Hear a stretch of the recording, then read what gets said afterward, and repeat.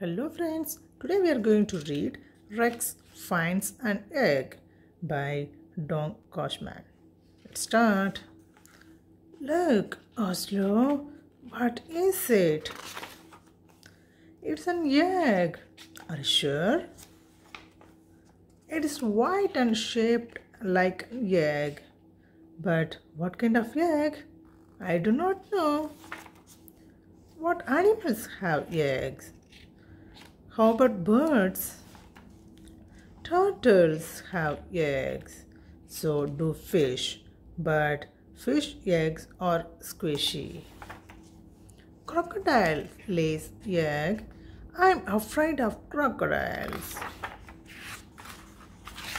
Maybe it's a platypus egg.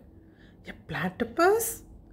You know a platypus is one of those animals that looks like a duck with fur.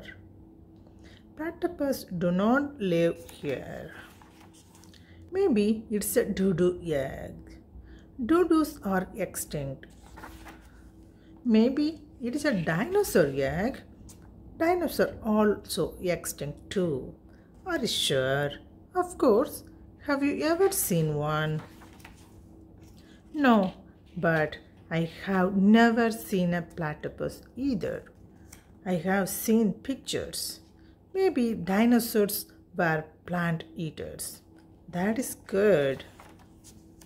But some dinosaurs were meat eaters. Egg, that's not good. Maybe we can just leave the egg alone. Good idea.